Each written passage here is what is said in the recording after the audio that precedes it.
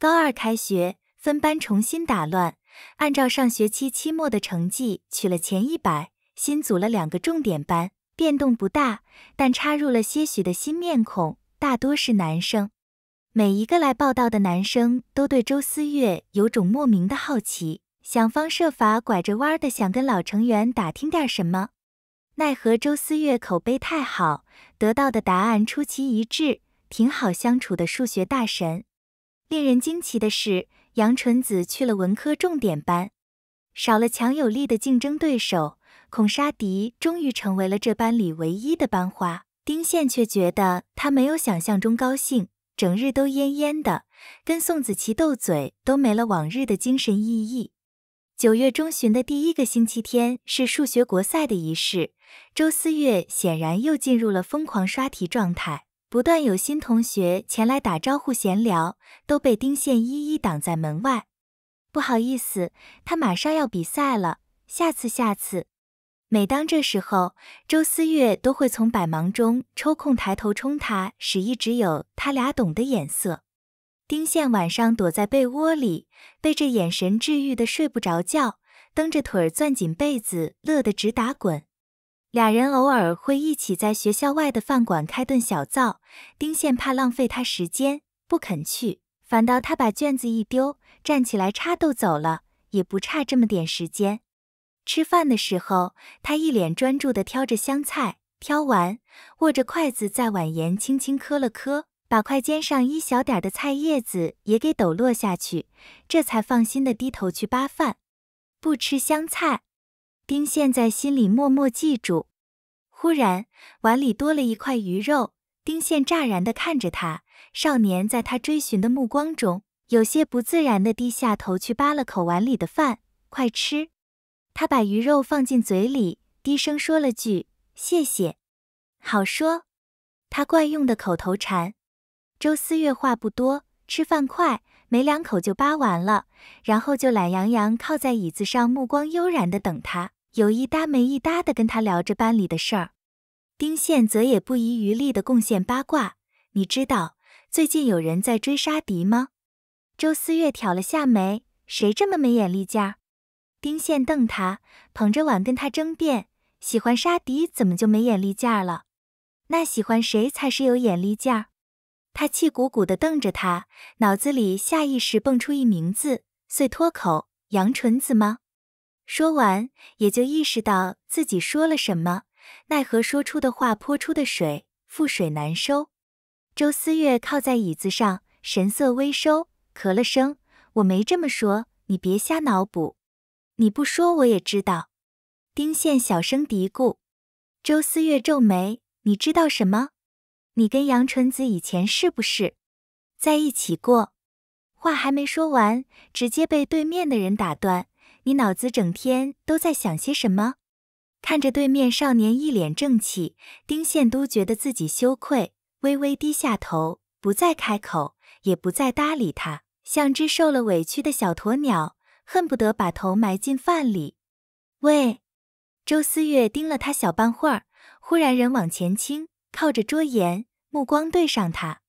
丁宪把头埋得更低，他忽然撇头笑了下，嘴角勾着。有点无奈道：“好吧，我承认我以前喜欢过他。虽然早就有了心理准备，当真这么切实听到的时候，丁宪的小心脏还是狠狠抽了一下，头埋得更低，莫名其妙就一颗眼泪掉进饭里，连他自己都没察觉，滴滴地了声，草草扒了两口饭，放下碗筷，站起来说：吃完了，我们走吧。周思月却没动，眼神盯着他的碗。坐下，丁宪没动。周思月往后靠，手插进兜里。好吧，刚才骗你的，我没喜欢过他。丁宪惊诧的看过去，简直想随手把碗扣到他那颗金贵的脑袋上，但还是倔强的说：“喜欢过也没关系，帅哥美女谁不喜欢啊？我也喜欢过许科啊。”周思月忽然一声冷笑：“没有就是没有。”说完，推开桌子去前台结账了。结完账也没理他，镜子插着都走了。下午上课，丁宪想了想，还是决定把中午的事情说清楚，提笔在纸上工工整整写了一句话，然后将纸条叠成正方块，放在桌角，捅了捅正在写题的周思月。少年抬眸，捞过，打开。好吧，我相信你。我也没有喜欢过许科，我瞎说的。我知道。洋洋洒洒写下三个字，直接丢回给丁宪，随着纸条抛进他怀里。台上的语文老师目光顺势往这边一瞧，丁宪的小心脏瞬间被提到嗓子眼，抱着纸条缩在墙角，吓得瑟瑟发抖。于淑君没发现端倪，继续低下头，声音洪亮的解读课文。丁宪长舒一口气，狠瞪一眼周思月，这才去看纸条。你怎么又知道？你脑袋里想什么？我能不知道？切，那你知道我的梦想是什么吗？你呀还有梦想？周思月，嗯，你的梦想是我？不要脸！我的梦想是像我舅舅一样当个画家。好梦想！你看不起我？哪敢！我真的很喜欢画画。我知道，又是这句。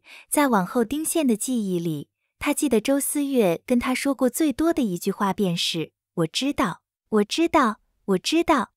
但他在想什么？他又真的知道吗？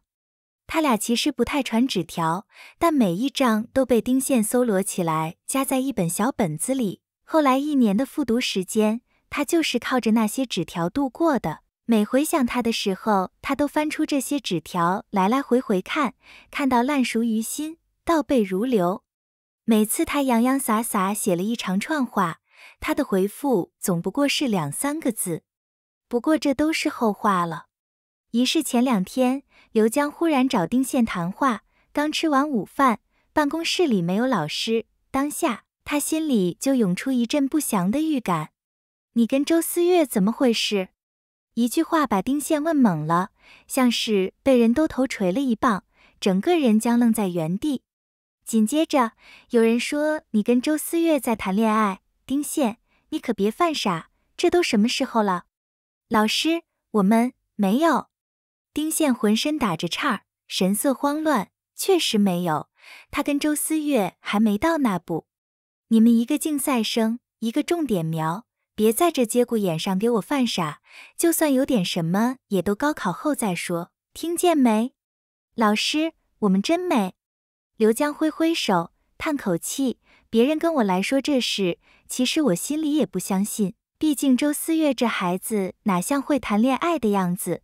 不过有人说看你俩经常一起吃饭，有点苗头了。作为老师，我觉得应该给你点个醒。”丁宪，刘江又道：“老师心里自然是相信你们的，谈恋爱的成绩哪能这么稳定？”但有时候你们得注意下避嫌，男女生关系太亲密，总会难免被人说闲话的，特别是女生在背后被人传来传去，多难听。周思月过几天比赛了，我暂时先不找他，你回去把位置换了，让宋子琪搬过来跟他坐。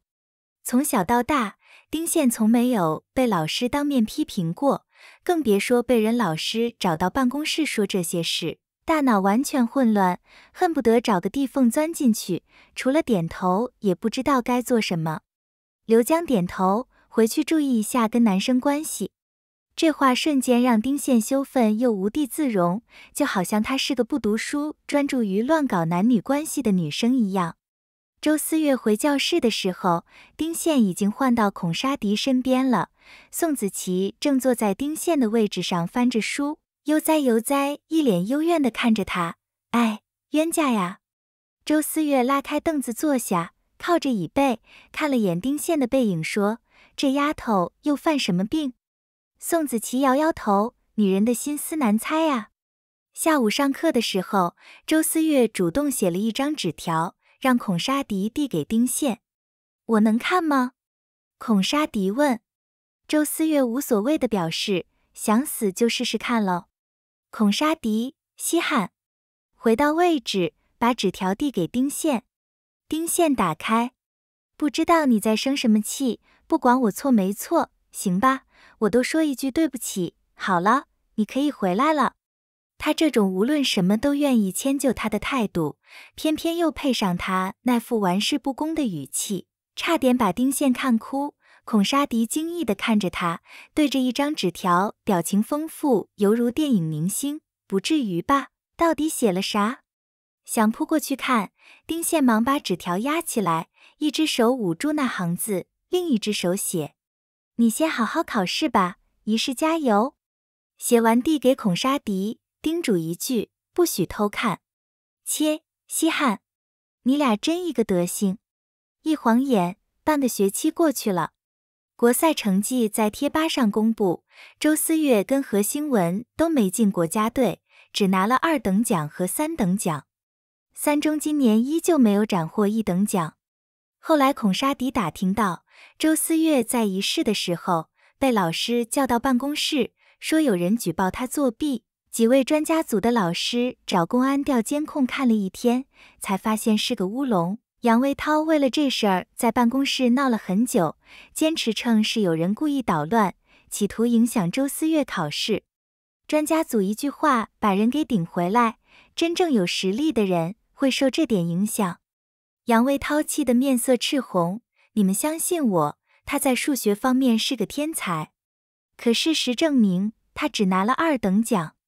那是受了别人影响，杨老师，我理解你的心情。是金子总会发光，明年也还有机会的。你应该跟我们一样相信他。